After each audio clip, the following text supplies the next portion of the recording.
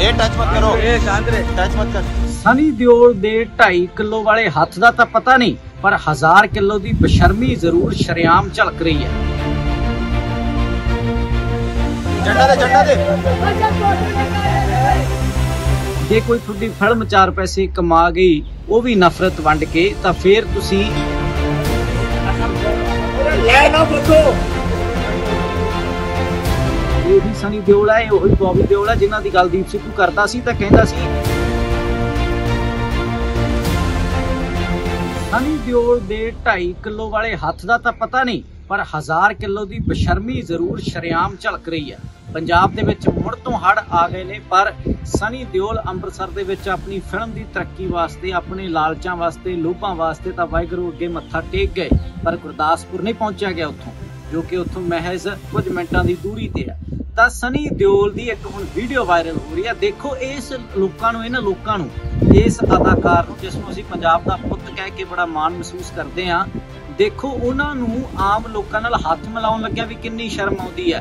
ਤਾਂ ਆਕੜ ਕੇ ਇਸ ਗੱਲ ਦੀ ਹੈ। ਇਹਨਾਂ ਦਾ ਰਵੱਈਆ ਕਿਹੋ ਜਿਹਾ ਕਿ ਇਹ ਲੋਕ ਸੱਚੀ ਮੁੱਚੀ ਸਾਡੇ ਸਟਾਰ ਨੇ? ਦੇਖੋ ਇਹਨਾਂ ਦੀਆਂ ਇਹ ਕਰਤੂਤਾਂ। ਤਾਂ ਤੁਹਾਡੇ ਯਾਦ ਹੋਏਗਾ, ਇਹ ਉਹੀ ਸਨੀ ਦਿਓਲ ਹੈ, ਜਿਸ ਦਾ ਭਰਾ ਬੌਬੀ ਦਿਓਲ ਹੁਣ ਆਪਣੀਆਂ ਇੰਟਰਵਿਊਜ਼ ਦੇ ਵਿੱਚ ਇਹ ਕਹਿੰਦਾ ਰਿਹਾ ਕਿ ਮੈਂ ਤਾਂ ਬੇਰੁਜ਼ਗਾਰ ਹੋ ਗਿਆ ਸੀ, ਮੇਰੀ ਤਾਂ ਜ਼ਿੰਦਗੀ ਖਤਮ ਹੋ ਗਈ ਸੀ, ਮੇਰੇ ਬੱਚੇ ਮੈਨੂੰ ਪੁੱਛਦੇ ਸੀ, ਪਾਪਾ, ਤੁਸੀਂ ਕੰਮ ਤੇ ਨਹੀਂ ਜਾਂਦੇ।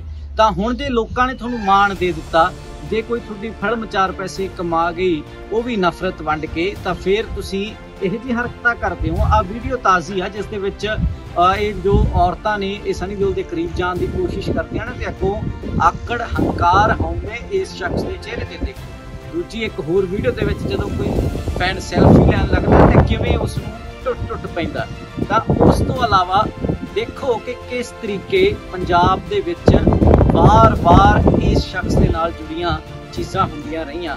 ਕਿਵੇਂ ਵੋਟਾਂ ਵੇਲੇ ਇਹ ਸਾਰਿਆਂ ਨੂੰ ਪਿਓ ਬਣਾ ਲੈਂਦੇ ਨੇ ਤੇ ਬਾਅਦ ਦੇ ਵਿੱਚ ਗਾਇਬ ਹੋ ਜਾਂਦੇ ਨੇ। ਦੀਪ ਸਿੱਧੂ ਨਾਲ ਇਹਨਾਂ ਲੋਕਾਂ ਨੇ ਕੀ ਕੁਝ ਕੀਤਾ? ਇਹ ਉਹੀ ਸਨੀ ਦਿਓਲ ਹੈ, ਇਹ ਉਹੀ ਬੌਬੀ ਦਿਓਲ ਹੈ ਜਿਨ੍ਹਾਂ ਦੀ ਗੱਲ ਦੀਪ ਸਿੱਧੂ ਕਰਦਾ ਸੀ ਤਾਂ ਕਹਿੰਦਾ ਸੀ ਕਿ ਮੇਰੇ ਤਾਂ ਭਰਾ ਨੇ।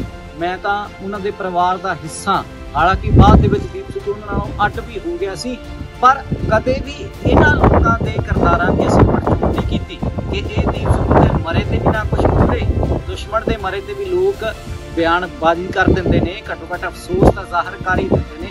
ਤਾਂ ਦੇਖੋ, ਗਦਰ ਫਿਲਮ ਵੇਲੇ ਪੰਜਾਬ ਆਉਣਾ ਇਹਨਾਂ ਲਈ ਜ਼ਰੂਰੀ ਹੈ।